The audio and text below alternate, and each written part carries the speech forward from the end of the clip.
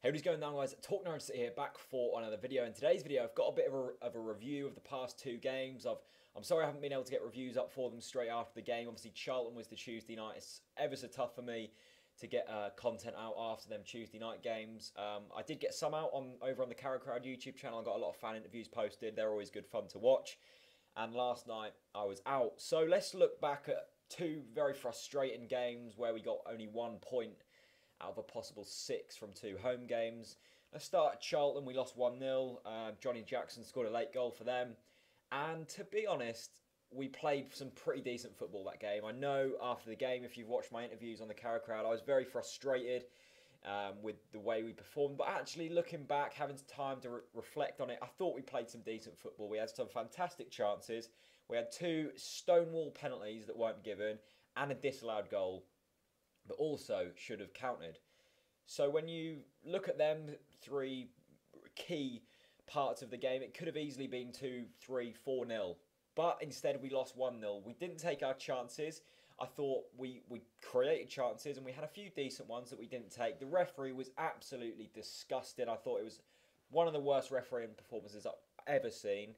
And then we were unlucky for them to score. It was a, it was a big deflection, and possibly Ruddy could have done better. I'm not so sure and they it was a typical smash and grab win.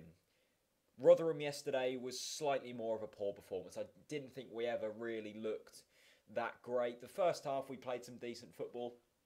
Um, how that Jerome chance hasn't gone in where he's had like three shots is an incredible triple save from the keeper.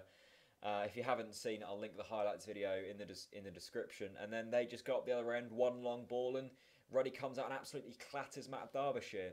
And it's slightly worrying that we were cut open with one ball, uh, one long ball, but also we were throwing a lot of men forwards and we were very unlucky not to score. So the goal wasn't too bad to concede, but second half we should have scored. Um, we were very sort of one dimensional, never really had a looked like we had a plan B. And we did finally grab a goal through Jerome, but we had so many chances to, to win that game, and it was very, very frustrating. Again, we were quite unlucky. We hit the post. The referee wasn't great, but we can't keep blaming it on, on bad luck and, and refereeing performances. We have to start earlier. We have to get into the game earlier, and I've said this from since day one.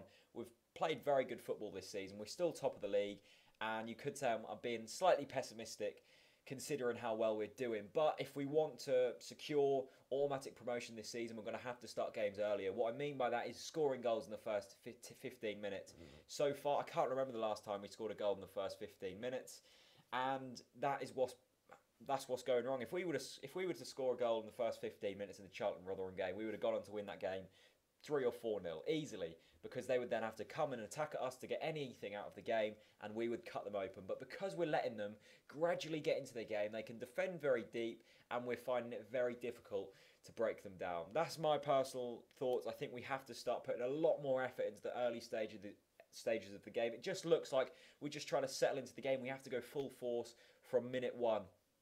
Um, also, yesterday I thought we were slightly slow to get forwards. Um, I think when we got the ball on, on the flanks and also in the middle, we sort of stalled a bit and, and looked to men either behind us or or uh, left or right, and we never really got the ball forwards and created that many opportunities. I think the formation has to change going into the next game. I'm not a massive fan of this 4-4-2. It looks very flat. I was a much bigger fan of the 4-2-3-1. I think Grabban should be dropped, in my opinion. Um, I don't think he's warranted a starting lineup this past couple of games. He's looked slightly off the pace, and when he has had chances, he hasn't taken them. I'd love to see Lafferty come back in the lineup. He played yesterday.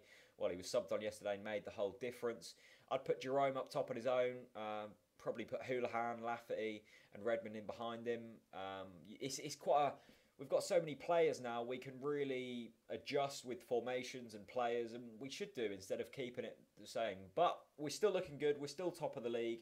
I'm still feeling confident ahead of this season. There's just a few things we need to change that could make big, big differences. Anyway, I hope you've enjoyed this video, guys. Please like it, share it, and all of that good stuff, and peace out.